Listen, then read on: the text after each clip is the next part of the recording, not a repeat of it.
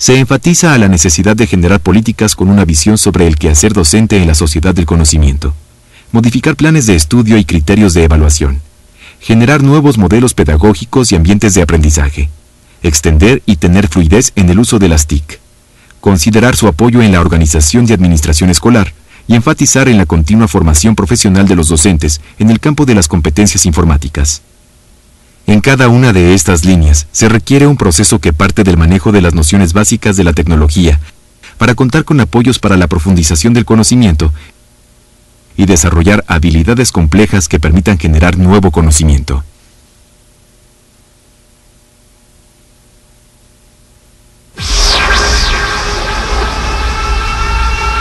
Los alumnos no solo resuelven los problemas, sino también empiezan a generar estos conocimientos con base a sus necesidades y los pueden compartir con otros. Y también aquí es importante que ahí está el componente del trabajo en red, el trabajo colaborativo y el trabajo para generar el conocimiento, pero ya de manera grupal.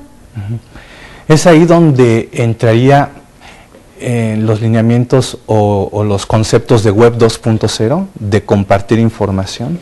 Sí, aquí ya entra esta parte como más compleja en donde las estrategias sí son mucho más profundas porque compartir información pues no, nada más es darte eh, un documento y que te quedes con él, sino implica toda una serie, un proceso mucho más eh, elaborado en donde tú vas a revisar determinados eh, datos, los procesas, los trabajas, te surge una reflexión, la compartes con alguien, ese alguien o esos que están a tu alrededor dentro de esa red te van a retroalimentar y a su vez se va generando un conocimiento ya procesado, ya analizado entre todos. Entonces ya esa sería como la nueva perspectiva y efectivamente aquí la web 2.0 entraría de manera eh, muy natural a este proceso.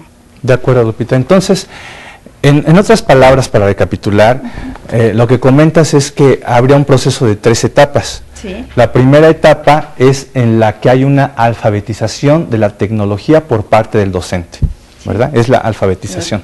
La segunda etapa es cuando el docente incorpora la tecnología al aula y la tercera es cuando ya es capaz de transitar de ser consumidor del conocimiento a ser también eh, productor del mismo y compartirlo. Sí, con el, el elemento, les decía, el componente fundamental de innovación.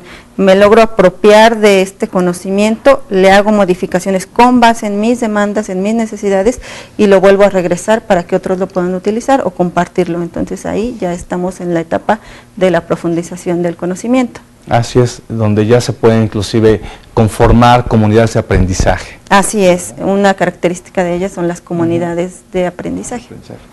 Perfecto.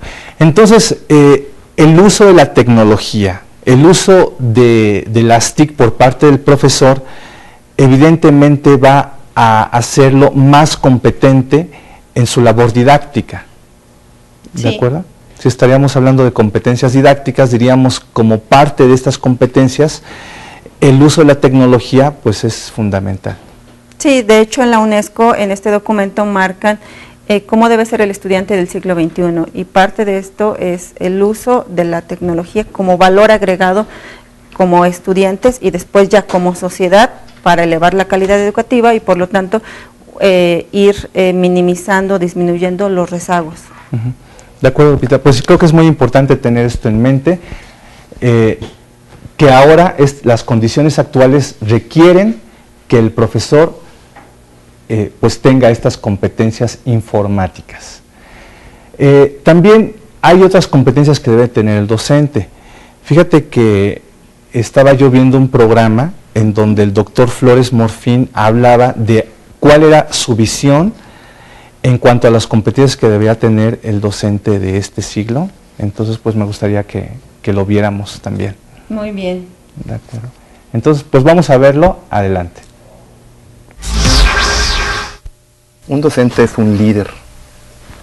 El líder ejerce su liderazgo para facilitar, para motivar la educación de una persona o de varias personas. Entendida la educación como la adquisición de instrucción más formación. Entendida la instrucción como la adquisición de conocimientos y habilidades que posiblemente se le olviden a la persona. Pero entendida la formación como la colección de actitudes y valores que le quedan para toda la vida.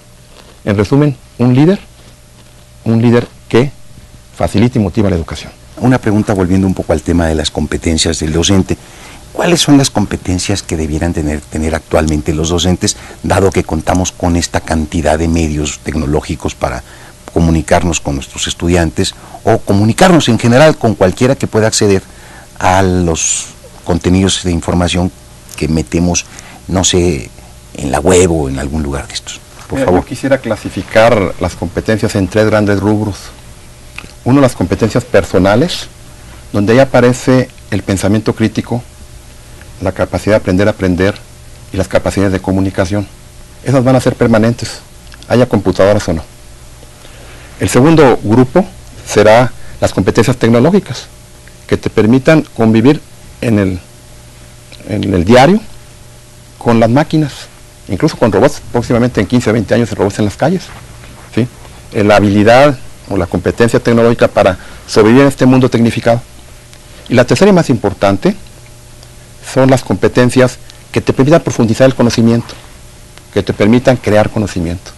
Un profesor que tenga estas competencias en estos tres grandes grupos, creo que va a ser un profesor exitoso. ¿Qué opinas, Lupita, de lo que comentó el doctor Flores Morfín? Pues creo que va encaminado a las mismas orientaciones que da la UNESCO, la generación del conocimiento continuo, el aprendizaje permanente, entonces creo que eh, se eh, articula perfectamente con la propuesta de la cual estábamos abordando. Así es, así es. Y bueno, definitivamente también hay otras competencias que se deben de tener en cuenta al pensar en el perfil del docente de este siglo. Sin duda, otra de las competencias sería eh, el pensamiento crítico. ¿Estarías de acuerdo? Sí, de hecho, pues lo mencionábamos eh, anteriormente, el hecho de analizar, sintetizar, esquematizar la información que tienen en la red, principalmente los alumnos, va muy ligada con el pensamiento crítico. ¿Cómo hacerle para que analicen, reflexionen, profundicen, comparen? Así es. Sí, y este es uno de los temas que estábamos platicando con la doctora Campos. Me gustaría que lo viéramos. Adelante. Otro aspecto eh, muy importante que hay que contemplar es el pensamiento crítico. Y es necesario que el tutor evidencie esta competencia no solamente en el proceso de aprendizaje-enseñanza, sino también en su manera de actuar, de conducirse en general.